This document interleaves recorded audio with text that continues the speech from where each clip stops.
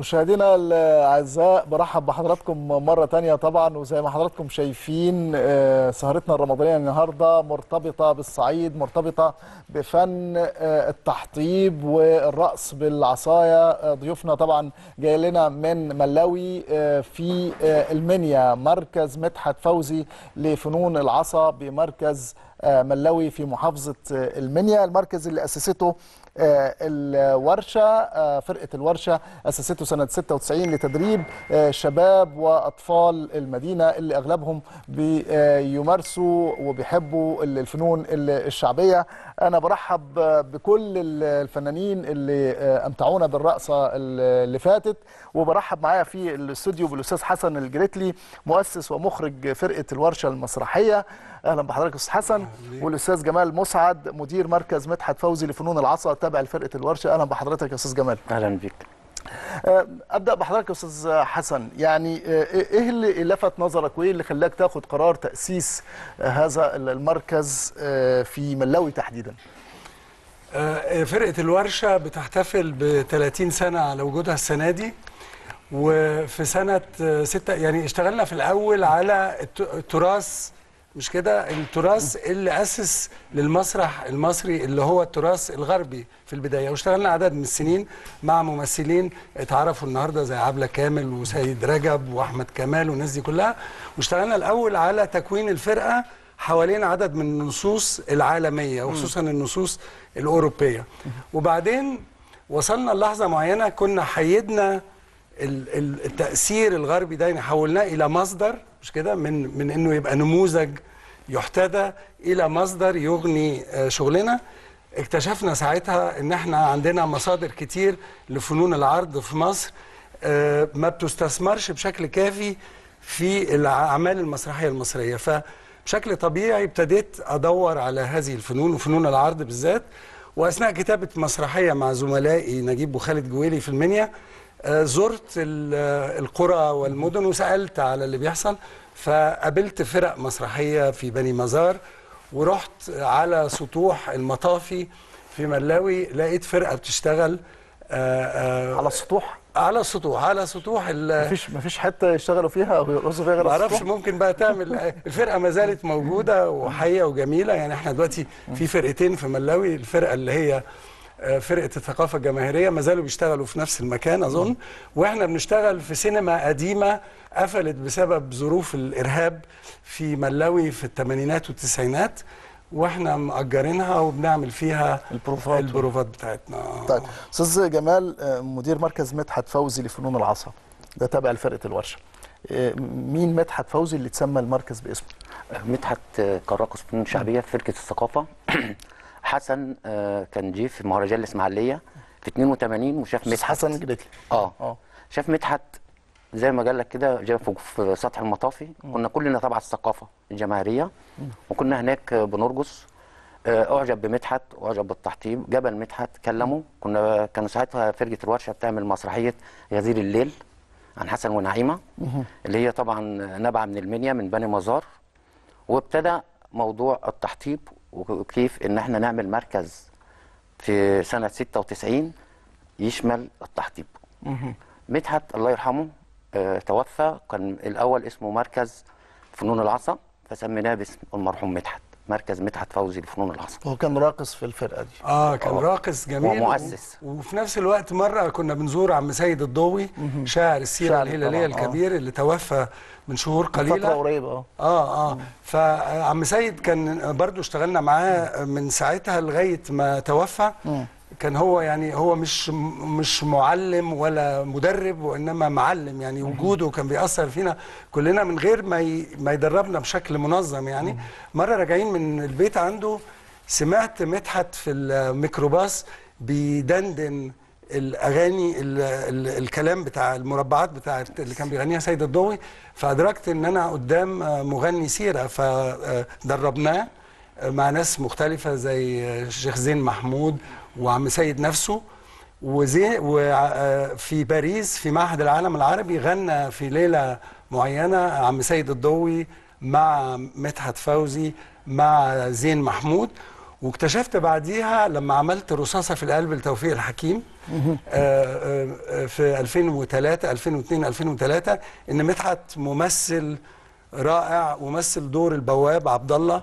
فهو كان راقص اولا وكان بيقول لي أنا مسؤول عن الرقص بس مش مسؤول عن أي حاجة تانية بعملها.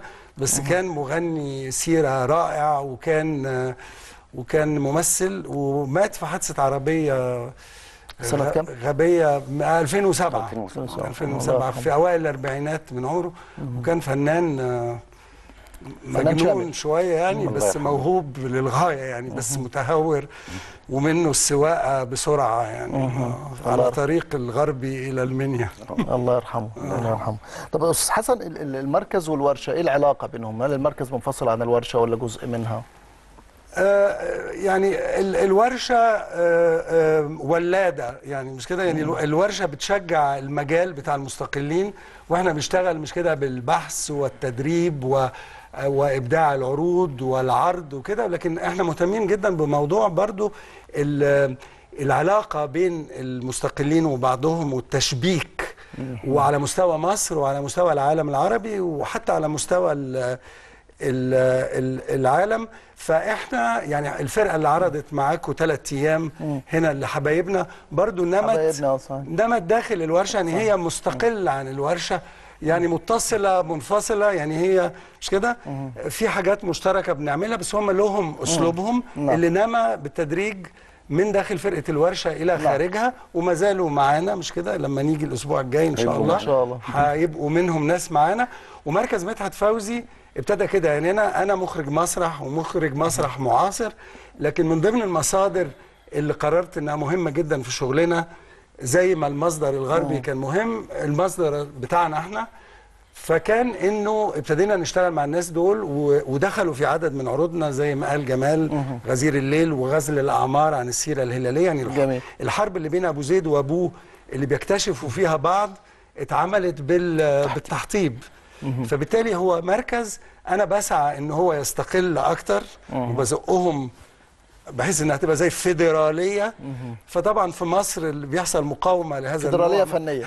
طيب أستاذ جمال. أستاذ جمال إزاي إزاي يعني الشباب اللي إحنا شفناهم بيرقصوا بشكل رائع ده إزاي بتدور عليهم؟ إزاي بتختارهم؟ إحنا الأول استعنا بالثقافة. أصدقائنا كانوا في بيت الثقافة وجبناهم وجبنا معلمين. دول المعلمين كانوا الأول تعبونا عشان هم كانوا عاملين إن التحطيب ده بيقتصر على العائلات وما كانوش راضيين يدربوا حد غير العائلات. لغاية ما أقنعناهم إن هم لازم يدربوا لأن ال- لو العائلات بس هتشمل لعبة التحطيب آه. يبقى إحنا مش هنتقدم. يعني عايزين يعني يحتكروها. آه احتكار. ليهم هم بس. آه. هي عائلات بس هم المسؤولين عن التحطيب لغاية ما جه عم داخلي وأقنعناه وابتدينا نجيب. السويتي. آه. اللي هو طبعا أعظم لاعب عصا يعني تعتبر. حصل على العصا الذهبية في التحطيب وابتدى يدرب مجموعة. والتحطيب ده ليه مسابقات طبعاً. عالمية؟ ليه كان ليه مسابقات؟ ورجع يعني هت... هيتعمل مسابقات. بس على مدى سنين حصل مسابقات وبعدين توقفت مش مش عارف ليه بالظبط بس داخلي خد ال- العصا الذهبية في آخر مسابقة أظن كانت في الأقصر. آه آه. في الأقصر؟ آه أها في الأقصر. وهي الفكرة إنه إنه داخلي مش من المنيا. يعني كل ما تنزل إلى الجنوب في الصعيد بتلاقي ال- ال- الفن آه، آه، مقنن أكتر ومكثف أكتر. وداخلي وعيلته من آه، سوهاج من جنوب سوهاج. مش كده برضو المنطقة اللي السيرة الهلالية غنية. فيها جدا هي. آه، البليانة البليانة. البليانة آه، آه، آه. فهم مش يعني الناس بتستغرب لما نزلنا من كام أسبوع أسوان. ال- ال- ال- الصعايدة بتوع أسوان اتعاملوا كده بنوع من الاستخفاف مع جماعة بتوع المنيا إيه دول يعني, يعني إيه الفنانين اللي؟ جايين يورونا.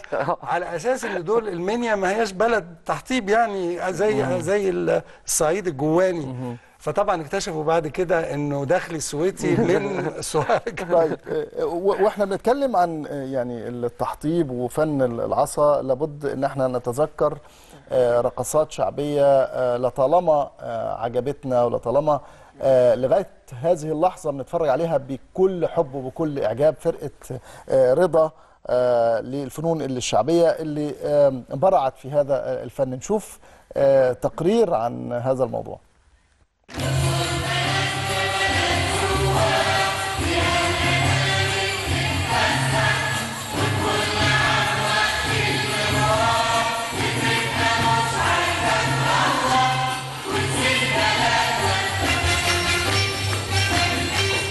دائما ما يحرص المواطن عقب تناول وجبة الإفطار على الاستمتاع بالأجواء الرمضانية خارج نطاق المنزل. لذا حرص المواطنون على متابعة العروض الاستعراضية التي تقدمها فرقة رضا للفنون الاستعراضية بدار الأوبرا المصرية. إحنا مشتركين في احتفاليات رمضان. المفروض النهارده الاف- الافتتاح إحنا عندنا النهارده الافتتاح. فرقة رضا مشتركة بتسع رقصات. في دحية في غزل في الريف في آه الأقصر بلدنا في أغاني. دايما بنبقى حريصين إن إحنا نقدم الفقرات بتاعتنا اللي بتحافظ على الفولكلور بتاعنا واللي بتحافظ على ال- العادات والتقاليد اللي بتتنقل من جيل لاخر عن طريق ال- الاستعراضات ال- اللي مستر محمود رضا عاملها ومصممها لينا. الفلكلور كمان بقى غير زمان خالص بقى الناس عندها وعي وفكر إنها تتفرج على حاجة زي كده. فالحمد لله يعني بقوا بيبقوا مبسوطين وبيبقوا خارجين وبيبقوا بيهنونا وبيبقوا عايزيننا تاني كل يوم بس إحنا في جدول طبعا هم آه، وزارة الثقافة عاملاه فما بنقدرش إن إحنا نعرض ليهم كل يوم يعني.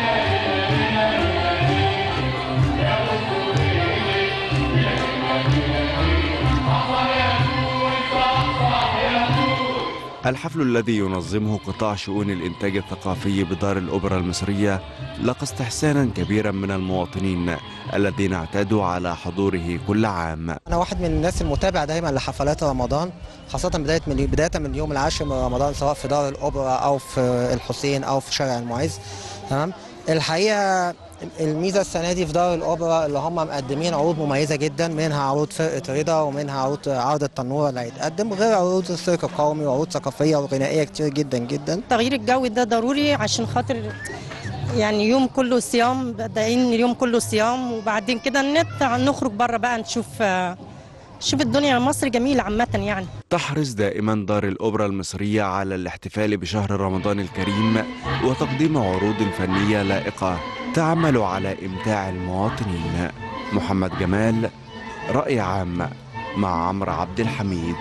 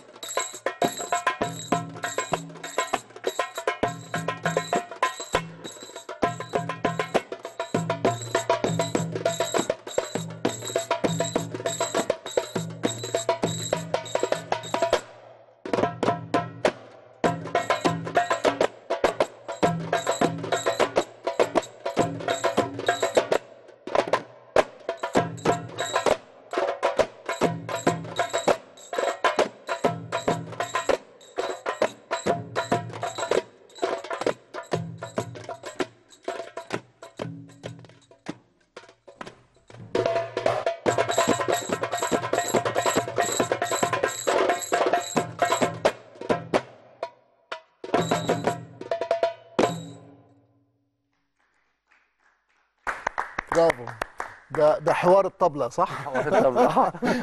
حوارات. حوارات. آه. آه، أستاذ حسن إحنا قبل الفاصل عرضنا في عرضنا تقرير عن فرقة رضا طبعا بقياده الفنان الشهير محمود رضا. في تعاون بينكم ما بين الفرقة دي؟ لا آه، لا بس يعني أنا اتربيت على فرقة رضا يعني وأنا طفل كان أبويا وأمي بياخدوني أتفرج عليهم. ويمكن ده اللي خلاني أدرك أياميها لما كانت العلاقة بين المدينة والقرية مش كده؟ يعني كنا إحنا متربيين في المدينة وبعيدين إحنا من اسكندرية أصلا فما كانش فيه علاقة. فأنا اكتشفت الفنون الشعبية آه، عن طريق فرقة رضا وأنا بحب الرقص جدا ويعني يمكن في في حياة أخرى كنت ممكن أتخيل نفسي راقص ومصمم رقص يعني وشغلي في المسرح له علاقة برضو بال- بالرقص من ناحية السينوغرافيا والديكور وكده. فأنا من الناس اللي يعني اتغذت على مدى سنوات بفرقة رضا وكنت بحب قوي طبعا محمود رضا وفريدة فهمي طبعا. بالذات يعني عمري ما هنسى الشغل اللي عملوه. وخصوصا إن هم يعني اللي بيجمعنا معاهم يمكن مع اختلاف الأساليب وطريقة البحث والشغل يعني هم جابوا الشغل ده إلى المدينة. يمكن إحنا نزلنا أكتر في الأرياف يعني ودورنا واشتغلنا هناك قد ما اشتغلنا هنا. وبعدين شغلنا لا يعني جه العاصمة ثم آه، سافر كل بلاد العالم. من من ملاوي يعني اشتغلنا أكتر هناك وأجرنا السينما واشتغلنا فيعني هي يعني يعني هم آه، عملوا الخطوة الأولانية وناس. تانية كملت آه. منهم إحنا يعني. واللي يجمعنا يمكن بيهم هو الاهتمام بالتفاصيل يعني حتى الشغل الجديد ال- مش الجديد يعني الشغل اللي شفناه اللي هو الشغل بتاع النهارده اللي هو أنا شفته زمان برضو تقريبا نفس الشغل. ما زال آه، شديد الدقة وطبعا في فرق أساسي بيننا إن هم عندهم بنات وإحنا لأ. آه، يعني إنه ال- وده اللي كنت عايز أسأل عنه أستاذ جمال يعني ليه ما فيش فتيات في الفرقه هو التحقيق- ظروف الصعيد؟ آه. عندنا في الظروف الصعيد ما فيش ما فيش واحدة اتحط آه بس إحنا لما سافرنا فرنسا علمنا فرنسيات. فرنسا. آه. يعني سافرنا وعلمنا في مدارس علمنا طب مش كنتوا هناك. تجيبوا معاكم؟ أحيانا بتيجي بنات بس, آه بس يعني إحنا شغالين برضه على الرقص الحديث كده مع آه مع الموضوع داليا. استثنائي طبعا يعني ما أعرفش حضرتك منين. أنا من سوهاج. آه طيب يعني قول لي في سوهاج ممكن نجيب بنات يشتغلوا معانا بسهولة؟ على أيامي لا بس ما أعرفش آه دلوقتي. آه، يعني ما زال مش سهل يعني. آه لا صعب طبعا بالتأكيد. آه. بس طب طب هل ال- يعني هل ال- الراقصين اللي عندك في الفرقة آه، بيتفرجوا على ال- الفيديوهات القديمة بتاعت فرقة رضا؟ طبعا. كل إحنا بنطلع على كل الفرق. يعني إحنا حتى شغالين على الرقص الحديث. امم الرقص المعاصر آه وبيجي مدربين في الرقص المعاصر منهم داليا العبد ذات المركز وبتدربهم وعاملة معانا رقصة بين التحطيب اندماج التحطيب بالرقص الحديث بالرقص المعاصر. آه يعني هي لقت طريقة إنها تقابلهم. يعني هي مهتمة جدا بالحركة في مصر وبالشغل الشعبي وبحركة المواطن المصري العادي. وهي متعلمة الرقص المعاصر وطريقه مارثا جريام في أمريكا ومتعلمة هناك. جت عملت معاهم شغل. اولا اشتغلت على اللياقة واقتصاد في المجهود وعملت معاهم رقصه هي نقطة لقاء. يعني هو مش دمج هو نقطة لقاء بين الشغل اللي هي اتعلمته والشغل اللي هي حبته ومعجبة بيه. ودي من ضمن البرنامج الكامل بتاعنا لما نعمل حلقة تانية معاك. نبقى نوري لك الشغل عايزة ريت، فرقة آه. ريت، عددا آه، من اللي موجودين النهاردة آه. يا ريت طب أنا عايز أسأل قبل ما نروح يعني للتقرير اللي جاي آه، هو في فرق بين التحطيب زمان والتحطيب دلوقتي دخلت عليه مكونات أو elements أو حاجات يعني جديدة ولا آه الإجابة في إجابة أولانية آه. يمكن لو الكاميرا تجيب الصورة دي لو. عرفنا نتفرج دي التحطيب. آه من آه أبو سير طب لحظة كده فيها تحطيب الكام- الكاميرا بالظبط ثبت إيدك هنا يا آه، أستاذ آه، حسن آه. أيوه بالظبط فيها. تحطيب أيوه بالظبط آه. دي من أبو سير وفيها بالظبط يعني واضح جدا لما هنعمل الفاصل بتاع التحطيب لأن اللي عملناه كان رأس مستوحى من التحطيب. لما هنعمل فاصل التحطيب نفس ال- نفس الوقفات ونفس الطاقة بالرغم من الأسلبة بتاعت الشغل الفرعوني إلا انه واضح إن هي بالظبط نفس الحركات وبالظبط نفس الطاقة. يعني أجدادنا القدماء كانوا بيحطبوا. ودي آه ودي تدريبات الجيش الفرعوني في الدولة الوسطى كما ترى في أبو سير وفي بني حسن في المنيا على بعد كيلومترات قليلة من آه، من آه، ملاوي. من ملاوي. طيب إحنا يعني هنروح لموضوع مختلف شوية لكن ما نقدرش ما نشيرش إليه الآن لغاية لما نجهز بالرقصه اللي جاية. النهارده الكنيسة ال- الإنجيلية آه، عملت إفطارها السنوي إفطار رمضاني. كاميرا رأي عام كانت هناك وسجلت بالصوت والصورة أهم المشاهد في هذا الإفطار. نشوف التقرير ده ونرجع لضيوفنا صعايدة ملاوي. للسنة السادسة على التوالي أقامت الكنيسة الإنجيلية بمدينة نصر. حفل إفطارها السنوي والذي يحمل عنوان إفطار المحبة لزيادة التواصل بين المصريين. إحنا هنا دي دعوة إفطار لينا السنة السادسة بنعمل كل سنة احتفالية إفطار مسمينه إفطار المحبة. وليه سميناه إفطار المحبة؟ لأن عندنا آية في الإنجيل تقول إن قال أحد إني أحب الله وأبغض أخاه في الإنسانية فهو كاذب. فاللي بيقول أنا بحب ربنا وبيكره حد يبقى ما بيحبش ربنا. اللي يحب ربنا يحب كل الناس ويحب الخير لكل الناس وما يأذيش أي إنسان. حب الله وحب الإنسان والإنسانية وكان لعملة واحدة. شارك بالإفطار عدد من أعضاء مجلس النواب وعدد من أئمة المساجد وذلك بمقر الكنيسة. النهارده الكنيسة الانجيليه في في هذا المكان وكل عام اعتادت على أن هذه مشاركة. فبت على طول إنها بتدعو ال- الإخوة المسلمين أقطاب المجتمع الإسلامي واقطاب المجتمع المسيحي وتبدأ في أن يجلسوا حول مائدة واحدة شهر رمضان في مصر هي مناسبة تخص المصريين بيحتفل بيها المصري المسيحي مع المصري المسلم في نفس الوقت. أنا كنت لسه بفتكر أيام وإحنا أنا من الجيل اللي كنا بنحط آه، فانوس رمضان زينا زي جارنا في البلكونة. وكنا بنبتدي من استعدادات زي ما هم بيستعدوا جيراننا. وكنا متربيين في بيت المسلمين. يعني أنا متربية في بيت آه، جارتي مع بنتها المسلمة في نفس الوقت. كنا بنصوم معاهم طول الوقت. توجه مثل هذه الفعاليات المشتركة بين مسيحي مصر ومسلميها رسالة للعالم بأن المحبة في مصر لا يستطيع أحدا أن يكسرها أو ينال منها.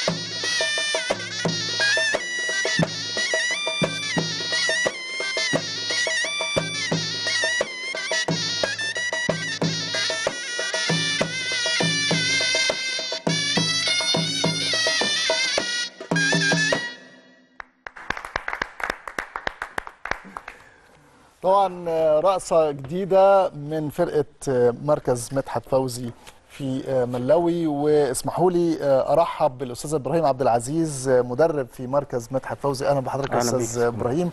وطبعا بشكر الأستاذ جمال مسعد مدير المركز اللي غادرنا في الفاصل. أستاذ إبراهيم أنا شايف يعني انضمام شباب صغير في الرقصه اللي فاتت. أصغر راقص عنده كام سنة؟ آه، 12 سنة. 12 سنة. طب إزاي إزاي بيتم تدريب الشباب الصغير ده؟ والله كان في م- مجموعة يعني إحنا لما اشتغلنا من ضمن المؤسسين الأوائل فبدأنا نطلع مننا مجموعة من المدربين الشبان فبالتالي كان الرقصة دي من تصميم مدحت فوزي وتبدي كان مساعد كنت بساعد وأنا في التدريب. بعدين الأطفال مسكهم محمد فتحي وب- وبيدربهم حاليا محمود عوف وعبد الرحمن سعيد. وبالتالي في تنوع في في شكل التصميم والشغل. عليه مهم. بالتالي بننقل كل خبراتنا سواء الشباب أو سواء جيلنا إحنا بننقله للأطفال وبنشتغل على نفس السيستم ونفس ال- المصادر الأصلية بالنسبة للشغل بتاعنا يعني. طيب ولي أمر ال- ال- الراقص أو الشاب أو الفتى اللي عنده 12 سنة لما أنت بتروح له وتقول له أنا عايز ابنك يرقص معايا في الفرقة يعني بيوافق بسهولة أكيد بيوافق بسهولة لأن آه، شغل التحطيب فيه شوية من من الرجولة الرجولة، آه. الرجولة آه طبعا وفي ميزة إنك أنت بتكون لاعب تحطيب أو لاعب عصاية بشكل عام أنت عندك ميزة مش موجودة عند حد تاني. فبالتالي زي ما قال جمال في في الفقرات اللي فاتت إن المعلمين نفسهم هم كانوا بي- بيحاولوا يخلوها عائلية شوية زي من- كده. زي عزوة، عزوة آه. يعني. آه طيب إيه يعني إيه اللي بيميز آه راقص التحطيب عن غيره من الراقصين مثلا اللي بيرقص رقص حديث مثلا. والله الت- التحطيب بالتحديد محتاج حاجات مهمة جدا ومنها نمرة واحد التركيز العالي جدا تدريب عالي جدا المرونة واللياقة واتخاذ القرار في جزء من بسرعة ويمكن آه ويمكن التحطيب مش بس يعني قصدي الرقص العصاية مش بس آه، يعني مش بس رقص يعني في حاجات تانية كتير آه. بتدخل داخل العملية نفسها. واخدين من التحطيب آه. عاملين منه رقص. مم. آه، وده اللي يعني هو فن مختلفين. قتالي. آه. غير إنه رقص هو فن قتالي ورياضة ورقص. يعني هو في حاجات مشتركة مع الشغل بتاع جنوب شرق آسيا بتاع الفنون العصا الآسيوية. مش كده؟ الآسيوية آه بالظبط. آم، طيب يعني آم، لما بتختار يعني آه، اللي هو الطفل اللي عنده 12 سنة ده يعني آه، بيتدرب كم مرة في الأسبوع؟ كم آم، كم ساعة في المرة الواحدة؟ إحنا بيدرب ست مرات في الأسبوع في الشهر مرتين في. الأسبوع وثلاث ساعات البروفه بالنسبة له البروفا ثلاث ساعات. آه. طيب استخدام الع- العصاية مش لازم يكون عنده مقومات جسمانية علشان يستخدم العصاية؟ إحنا بنحاول أي- بنحاول نساعده في ده في- من خلال التدريبات. مم. ومن خلال إن إحنا كمان بنج... بن... بنست... بنجيب عصاية مختلفة عن العصاية اللي بيمسكها ال- الشباب الكبيرة. مم. فبالتالي بنقدر نساعده إنه يتأقلم كمان إن العصاية تبقى جزء منه. مهم. فبالتالي تبقى حاجة يعني ما تبقاش حاجة غريبة عنه. فبالتالي يقدر يحصل بينه وما بين العصاية ألفة. فما بيحاولش بيحاول دايما يشتغل بيها يعني. والزمن الطويل يعني فكرة إن التدريبات عندنا بتقعد سنوات يعني زي فرقة الورشة وزي حبايبنا. دول دول ناس اشتغلوا سنين وسنين وسنين بانتظام شديد عشان يوصلوا للمستوى اللي وصلوا الفرق دي فرق مستقلة. دي فرق مستقلة. آه. لعبت دور في إثراء الحركة الفنية في مصر. طبعا في السنوات الأخيرة ما هي جزء من روح الحرية مش كده؟ اللي دخلت. علينا في اللي. هبت علينا في السنوات الأخيرة والثورة كانت جزء منها 2011 فهي طبعا أثرت وخصوصا إنه مع احترامنا ال- الفرق الرسمية حصل فيها نوع من التكلس إلى حد كبير. فالحياه ابتدت تحصل خارج الأطر مش كده؟ زي ما بيحصل في كل العالم. تمام. زمان كان في فرقة في ملاوي كان ليها شهرة عالمية زمان كانت تابعة لوزارة الثقافة. آه. مش كده؟ إيه إيه مصيرها دلوقتي؟ فين؟ موجودة فعلا آه، ومعانا آه، إحنا كمان. بتسافر إحنا جزء منها. أنتوا جزء إحنا منها. إحنا اتدربنا انتوا- أساسا. أنتوا بس أنتوا مستقلين عن لا إحنا كجيلي أنا آه. آه، من فنون شعبيه ملوي ومعانا حاليا معانا طارق ومعانا كريم. من اعضاء بيشتغلوا هنا وهنا. آه، في مفيش اختلاف في بيننا. تعاون بيننا وبينهم. آه. لا لا طبعا إحنا بنشتغل. ولأن إحنا لينا طريقة في الشغل مختلفة عن طريقة إيه. الاختلاف؟ إيه وجه الاختلاف؟ زي ما قال حسن إحنا عندنا فترات طويلة. يعني بنتدرب بشكل كويس بنتدرب فترات طويلة. طبعا أنت عارف شغل الحكومة بيبقى فيه شوية روتين شوية. روتين مم. و... لا وبعدين إحنا بندخل مثلا في علاقة بالمسرح. يعني في الفرقة اللي أسست المركز هي فرقة مسرحية في الآخر وفرقة مسرحية معاصرة. فالناس دول اشتركوا في عدد كبير من عروضنا. يعني إحنا عرضنا غزل الأعمار المستوحى من السيرة الهلالية. عرضناه في أندونيسيا. بوجود جزء من مركز مدحت فوزي. يعني العلاقة بالمسرح حاجة بتفرقنا. وبعدين الاهتمام بال بالتلقيح المتبادل بين ال- الفنون الرقص المختلفة. يعني دخول مصممة رقص معاصرة. التعاون مع الراقصين بتوع فرقة الفنون الفلسطينية. في مهرجان عمان عبر سنوات طويلة ومن خلال تدريبات بتتعمل عملنا. ورش كتيرة عملنا شاركتوا ورش. شاركتوا في مهرجانات كتير بره مصر. جدا. آه طبعا. شاركنا آه. في حاجات كتيرة جدا. شاركنا في البرازيل وهولندا وفرنسا واندونيسيا زي ما قال وأندونيسيا، حسن آه، آه. فين كتير- فين فين لقيتوا يعني آه، أكتر أو أفضل استقبال في البلدان اللي أنت حضرتك والله في كل البلدان بنلاقي أحسن استقبال. يعني وطبعا حسن أحسن استقبال هو اللي جاي في باريس ده إن شاء مارس الله. إن شاء الله. في مارس اللي بس جاي هتروحوا جاي. باريس. إن شاء الله. متحف الحضارات الجديد اللي هو اسمه كيب هونلي شرطة جاك شيراك اللي هو جنب ال- ال Tour Eiffel على طول برج إيفل على طول جنبيه. عاملين متحف بديع جديد وهي من 10 إلى 18 مارس السنة الجاية 2018 هيتعمل ست عروض. زائد عروض أفلام وندوات وورش ورش وتدريبات وهكذا. ده اللي جاري الاتفاق عليه دلوقتي يعني. جميل جدا. في تعاون بينكم ما بين آه، يعني فرق آه، عربية مثلا أو يعني فرق آه، فنون شعبية عربية؟ أنا يعني أنا رحت قبل كده الأردن من خلال حسن من خلال الورشه آه، دربنا فرقة فلسطين للفنون الشعبية فرقة الفنون الفنون الشعبية الفلسطينية. فرقة مهمة جدا بيشتغلوا على الدبكة وبعض الدبكة الرقص- طبعاً، آه، وبعض. الراقصين من مختلفين منهم من الأردن ومن فلسطين ومن لبنان واشتغلت معاهم أنا على التحطيب ولما. كنا في البرازيل اشتغلنا مع البرازيل. الشباب بتوع الكابويرا ال- ال- البرازيلية ومع الأوركسترات اللي هي بالبراميل دي. أيوة، أيوة. مش كده؟ فالتحطيب بتوعنا دول أعتقد في, في أيام الكرنفال بتاع أيوه في أيام أيوه الكرنفال. كنا في مدينه مدينة إفريقية في شمال البرازيل. حضرتوا أيام. الكرنفال؟ حضرتوا الكرنفال آه, هنا آه حضرنا أجزاء واشتركنا معاهم في حاجات. يا آه. بختكم أنا نفسي أحضر الكرنفال كان في مهرجان مسمينه مهرجان التراث الإفريقي بحكم إن دي أكبر مدينة آه، من أكبر المدن الإفريقية وهي خارج إفريقيا هي من أصل العبيد اللي راحوا شمال البرازيل وكده. إيه خططكم لل- للمستقبل القريب يعني بتبصوا على بعض كده. آه إن إحنا نكمل أكيد ونحضر لباريس ونعمل جلابيات جديدة لأن الجلابيات اللي حضرتكم شفتوها دي بقى لها 20 سنة 20 سنة. محافظين عليها إزاي؟ ونزود آه آه آه, آه. زي 20 سنة طارق أبو الفتوح المنتج آه. ومصمم ال- الديكورات والسينوغراف آه، اللي بقى بعد كده منتج آه، للفنون وكده. والفنون التشكيلية دلوقتي هو اللي عمل ال- الشغل ده من 20 سنة. وبيتوارثوا الأجيال. إحنا دلوقتي الجيل الشباب هو خامس جيل خامس. عندنا في يعني الجلابية دي لبسها خمس أشخاص؟ على الأقل. طبعا. بجد؟ طب ليه طيب؟ يعني ما هو الجلابيات دي منتشرة في الصعيد. دي مشكلة المستقلين. المستقلين صحيح. okay. لا هل قصدك كان واضح بالنسبة الموارد؟ لك إن فيها مشكلة؟ لا. الموارد. الموارد. محافظين عليهم. آه. الموارد. الموارد. آه، بس دلوقتي مع ال- مع أفق باريس إن شاء الله هيبقى في هيبقى في جلابيات. جديدة يعني. وعصي جديد. مش. مش عارف أقول لكم إيه بس يعني بصراحة يعني على الأقل المفروض يكون في نظرة من الدولة ومن وزارة الثقافة للفرق دي. آه يا ريت. ما هو فكرة المستقلين بتتعامل على إنها تقرب من الكفر.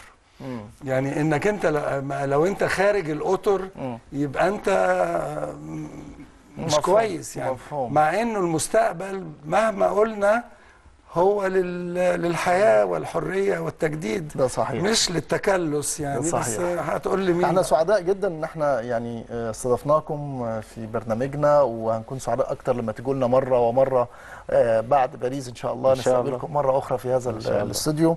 أنا بشكركم شكرا جزيلا الاستاذ حسن الجريتلي مؤسس ومخرج فرقة ال- الورشة المسرحية. الأستاذ إبراهيم عبد العزيز المدرب في مركز مدحت فوزي. وطبعا شكر موصول للأستاذ جمال مسعد مدير مركز آه، مدحت فوزي لفنون فنون العصر التابع لفرقة ال- الورشة. وشكر آه، يعني لجميع الفنانين ال- الجمال اللي إحنا شفناهم بيحطبوا وبيرقصوا وبيعزفوا. المزمار طبعا أكيد والطبلة وحوار الط- الطبلة اللي إحنا شفناه ده. آه، مش عارف أنا باقي لي كام يا يا- شريف؟ خمس دقايق. آه، يعني نقدر نشوف حاجة في الخمس دقايق دي بدل ما بدل- تحطيب. هنشوف تحطيب. هنشوف تحطيب. طيب نشوف ده وبعدها نقول لكم آه، تصبحوا على خير. أو نقول لكم من دلوقتي تصبحوا على خير بس إيه، نشوف مع بعض التحطيب